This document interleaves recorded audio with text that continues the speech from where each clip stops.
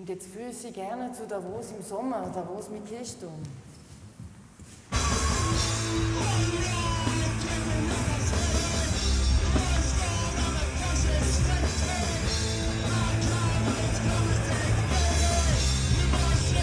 Was ist SWEF überhaupt?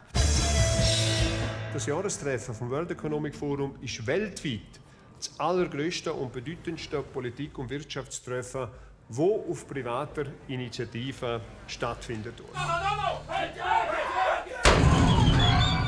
You represent the single largest span of control of human and economic capital in the world. You see something nice?